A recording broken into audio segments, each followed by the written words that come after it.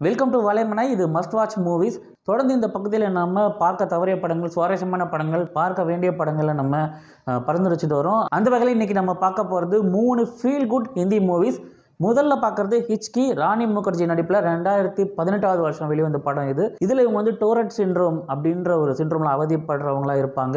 கிட்டத்தட்ட விக்கல் போன்ற ஒரு ஒளி வந்து தன்னிச்சையாக அவங்க அன்கண்ட்ரோலபிளாக அவங்க எழுப்பிட்டு இருப்பாங்க. அந்த மாதிரி ஒரு சிண்ட்ரோமில் இருக்கிற நிலமையில அவங்களுக்கு ஒரு தலைசிறந்த டீச்சர் ஆகணும் அப்படின்ற ஒரு ஆசை. ஸோ அதுக்கு அவங்க என்னென்ன முயற்சி மேற்கொள்கிறாங்க எப்படி ரிஜெக்ஷன்ஸை அவங்க எதிர்கொள்கிறாங்க அதுக்கப்புறம் எப்படி ஒரு இடத்துல ஒரு ஆப்பர்ச்சுனிட்டி கிடைக்குது? ஆனால் அங்கே என்னென்ன சவால்கள் அவங்களுக்கு தராங்க அப்படின்னு போர் அடிக்காமல் தொய்வு இல்லாமல் கிரிப்பிங்காக இந்த படம் கொஞ்சம் ஃபாஸ்ட்டாக போயிட்டுருக்கும். அதுவும் இல்லாமல் ஒரு ஃபீல் குட் இமோஷன் வந்து இந்த படம் நமக்கு முடிவில் நிச்சயமாக கடத்தும். ரெண்டாவது படம் இர்ஃபான் கான் நடிப்பில் ரெண்டாயிரத்தி பதினேழாவது வருஷம் வெளிவந்த ஹிந்தி மீடியம் இதுவும் வந்து ஒரு ஃபீல் குட் மூவி ஒரு சக்ஸஸ்ஃபுல் பிஸ்னஸ் மேனாக இருக்கக்கூடிய இர்ஃபான் கான் அவருடைய அஞ்சு வயசு பொண்ணை ஒரு தலை சிறந்த ஸ்கூலில் வந்து சேர்க்க ட்ரை பண்ணுறாரு ஆனால் அதுக்கு அவர் எவ்வளோ போராட்டங்களை மேற்கொள்கிறாருன்னு ரொம்ப ரொம்ப ஒரு நகைச்சுவையான இலையோட ஒரு பாசிட்டிவாகவும் கடைசியில் நல்ல ஒரு மெசேஜோடவும் இந்த படத்தை முடிச்சிருப்பாங்க. நம்ம பார்க்குறதுக்கு ரொம்ப என்டர்டெய்னிங்காகவும் ஒரு கன்வின்சிங்காகவும் இந்த படம் இருக்கும்.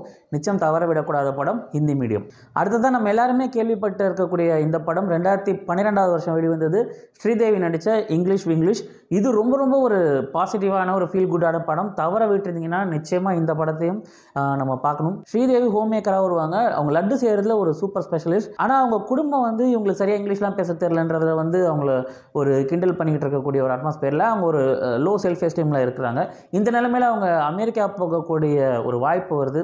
அந்த இடத்துல அவங்க வந்து இங்கிலீஷ் கற்றுக்குறாங்க சவாலாக அங்கே வந்து நடக்கிற விஷயங்கள் அதுக்கு எப்படி அவங்களோட லைஃப் ட்ரான்ஸ்ஃபார்ம் ஆகுதுன்னு ரொம்ப ரொம்ப ஒரு பாசிட்டிவான நோட்டில் இந்த படத்தை நமக்கு சொல்லியிருப்பாங்க. ஸோ இந்த படம் ஜியோ சினிமாஸில் அவைலபிளாக இருக்குது அதில் பார்க்கலாம். ஹெச்கியும் ஹிந்தி மீடியமும் அமேசான் ப்ரைம் வீடியோவில் அவைலபிளாக இருக்குது அதில் பார்க்கலாம். இந்த மூணு படமுமே நம்ம உட்காந்து பார்க்குற நேரத்துக்கு நியாயம் செய்கிறதா இருக்கும் நல்ல என்டர்டெய்னிங்காகவும் அதே நேரத்தில் ஒரு பாசிட்டிவ் ஃபீலிங்கும் நமக்கு தரும். ஸோ நிச்சயம் பாருங்கள் இந்த படங்களை பார்த்துட்டு உங்களுடைய கருத்துக்களை நம்ம கமெண்ட் செக்ஷனில் நீங்கள் பதிவிடுங்க. ஏற்கனவே இந்த படங்களை பார்த்துருந்தீங்கனாலும் உங்களோட கருத்துக்களை கமெண்ட்டில் பகிர்ந்துக்கோங்க. மீண்டும் உங்களை வலைமனையில் சந்திக்கிறேன் சுகுமார் சுவாமிநாதன் சைனிங் ஆஃப்